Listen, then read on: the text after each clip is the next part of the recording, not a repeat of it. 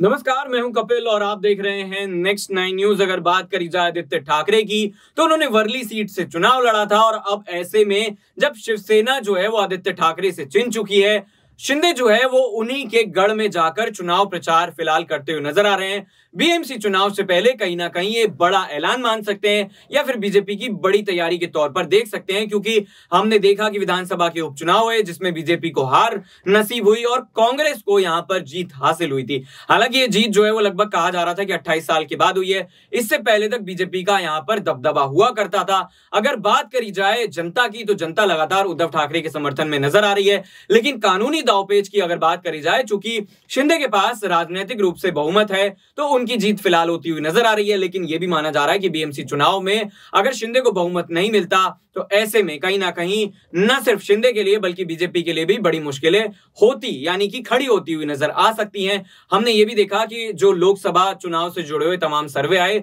उन सर्वे में यही कहा जा रहा था कि चौंतीस सीटें लगभग अड़तालीस प्रतिशत वोट जो है, वो महाविकास अगाड़ी गठबंधन को जा सकता है। अगर एनसीपी की बात करी जाए तो महाराष्ट्र में उसका अस्तित्व काफ़ी पहले का है और यह भी माना जा सकता है कि शरद पवार जो है वो तमाम तरह की जो जोड़ तोड़ वाली वाली राजनीति है उसको भी जानते हैं और सियासी दावपेच में वो माहिर माने जाते हैं इसलिए उन्हें चाणक्य की आ, की जो संज्ञा है वो दी गई थी। अब क्या माना जाए कि महाराष्ट्र की सियासत में तमाम राजनीतिक पार्टियाँ जो है वो और उतरना चाहती हैं? अरविंद केजरीवाल ने जाकर उद्धव ठाकरे से मुलाकात करी यानी कि कहीं ना कहीं ये इशारा था कि तमाम राजनीतिक दल साथ आए एटलीस्ट महाराष्ट्र में ताकि बीजेपी को जो है वो सत्ता से हटाया जा सके। मराठी अगर समाज की बात करी जाए तो क्या उद्धव ठाकरे के साथ वो दिखाई देगा? क्योंकि शिवसेना भले ही छिन गई हो, चुनाव चिन्ह भले ही छिन गया हो, लेकिन जनता का जो प्यार है, जनता का जो विश्वास है, अगर वो उद्धव ठाकरे के साथ रहता है, आदित्य ठाकरे के साथ रहता है तो फिर फिर कहीं ना कहीं बीजेपी के लिए बड़ी मुश्किलें खड़ी होंगी। शिवसेना छिनने से पहले जिस तरीके से उद्धव ठाकरे ने, माफ़ कीजिएगा, आदित्य ठाकरे ने बड़ा ऐलान किया था, उन्होंने कहा था